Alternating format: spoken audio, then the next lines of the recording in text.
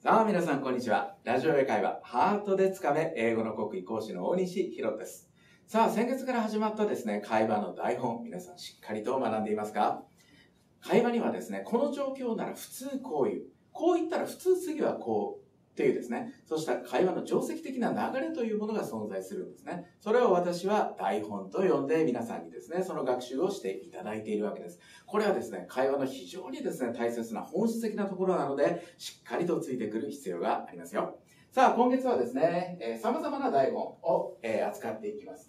発言を遮るというわけですね。えー、例えばですね、just a minute とかですね、wait a minute。まあそうした表現です。あるいはですね、ニュースを伝える。例えば興奮して Guess what? って言いながらですね、そのニュースを伝える。まあそうしたですね、えー、会話の流れ。もう一つは警告を与える。さらには提案、アドバイスとですね、会話で非常によく使われる、その、えー、典型的な台本をですね、たくさん皆さんにご紹介することになります。いいですか？これは会話の本丸です。ぜひ、しっかりと私についてきてください。Hey, hey!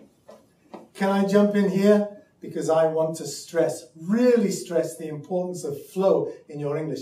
And I, yes, that's right, me, I'm going to teach you lots of expressions which will add flow to your English. And not only that, they will make your English much more adult, like. Hey, hey, hey, hey, hey. Oh. oh. Hang on a minute, guys. Now, I think I know the best way to handle this.